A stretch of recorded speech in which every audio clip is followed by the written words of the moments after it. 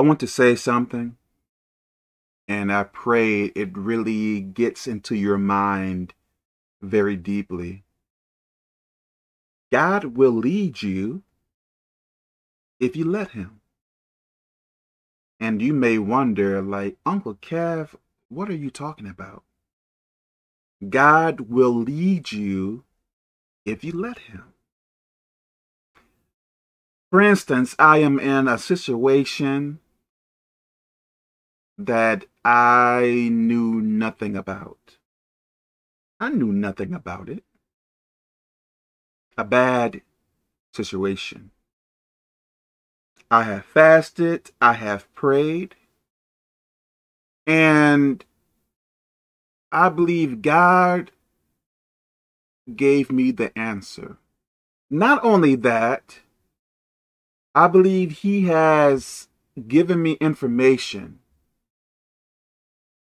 where I can help other people with advice. Not only that, I am learning to be better in Christ. I am maturing more in Christ. Many people may not know what to do. Many people may not know what to say. Many people may not know the way to go. But I believe if you place God first in your life, if you really depend on Him, if you really have a prayer life, if you have a fasting life, if you really acknowledge God, I believe He will lead you to where you need to go to what you should say, to what you should do, who to speak to and who not to speak to. I believe God will lead you if you let Him. You know, some people may fear the future. They may wonder, uh, what if we run out of food?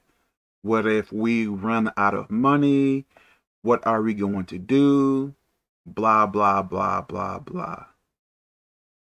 You know, myself, I don't really, how can I say this? I don't really fear the future on what I am going to eat and where will I live and where will I go and where will I work at and stuff. My mind don't really go on those things. I am trying to tell you, it really doesn't. My mind is focused, okay, how can I mature more in Christ? How can I become a better person? How can I interact with people better, as in being more humble, being more peaceful, things like that.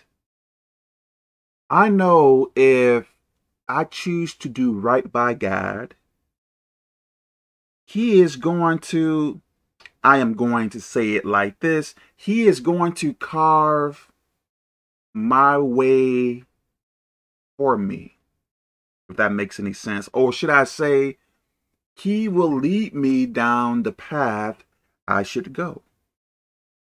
I remember maybe two or more years ago, um, a person wanted me to do something. And um, the person was saying, well, what if you get older? You know, you got to be concerned about, you know, this and that and blah, blah, blah. This, this may happen to you and blah, blah, blah, blah, blah. And in a earthly sense, I guess that person is right. I, I guess. Or should I say, maybe I should not say he is right, but let's say that um, I guess he is right in his own mind. but what that person was speaking about, my mind is not on that. My mind is on what? On focusing on living for God. I know if my focus is on living for God, God is going to lead me down the right path. And I think that is the problem with many people. Yes, we need money. Yes, we need to pay bills and stuff like that. But I believe some people's focus is on success and money, but you are going to die one day. What if you get really, really sick? Okay, let's say you live your life mainly for money, and let's say you get really, really sick. Then you go to this hospital and that hospital and this hospital over there, over here. Now, what is going to happen to your money? Like, your money is probably going to be gone. I try to keep my mind spiritually, mostly, I would say. I try to keep it mostly spiritually. With me, I don't care about worldly success. I don't care about worldly popularity. Oh, I want to be famous and I want many people to like me and stuff like that. I don't really care about those things. Yes, I want uh, more people to view my channel and stuff like that. I guess success in that, I guess. But in many other things, I don't really care because what are those things really going to do for me when I leave the earth? I believe what we do in Christ will last.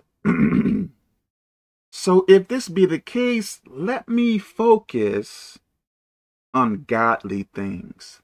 Let me focus on how I can help people, how I can, uh, you know, cheer some people up and how you know, I can be like a humble person, uh, showing humility and stuff like that. Let me learn how to be meek. These things are very, very important. Some people may think I am wise or whatever else like that, and that is not really the case.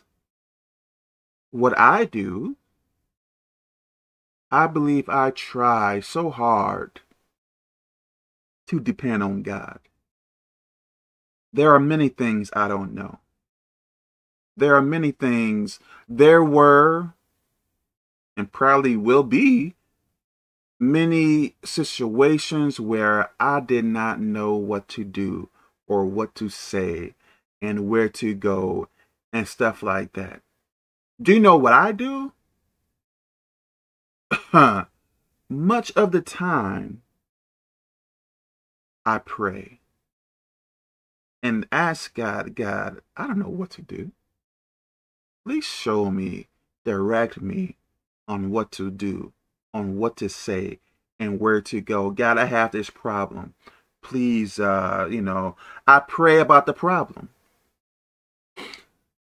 maybe within that day or maybe a time after not really giving it like a specific time period. A lot of the time i receive answers on what to do.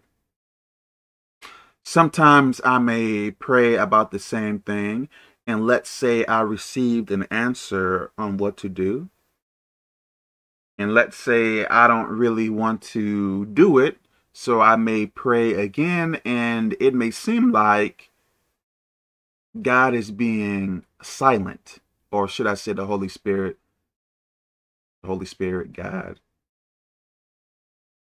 Let's say that God is being silent to me then I believe I know that I should do what I believe what God gave me to do. Or should I say, told me to do. Which, let me say this, which I believe it is the Holy Spirit that communicates with us in different ways. And I am not saying like I heard like a particular voice say it to me. I believe the Holy Spirit can communicate to us through our thoughts and and I believe sometimes probably through dreams and stuff like that. I don't know. What I am mainly trying to say, let God lead you. Let God direct you. I believe if you do it in that way, you will be more successful. Not saying as in rich and stuff like that. Successful as in when there's a problem, I believe you can successfully get through it. Or should I say, successfully conquer it. For instance, I am in a situation now and I believe I have received answers on what to do. Now, am I finished with the issue that I have now? Probably not. But even though, let's say it takes five or 10 years for it to be finished, even if it takes that long, I believe if I continue to do what I am told by God, I believe that I can overcome the situation that I am in now. You know, I say God, but maybe I should say the Holy Spirit.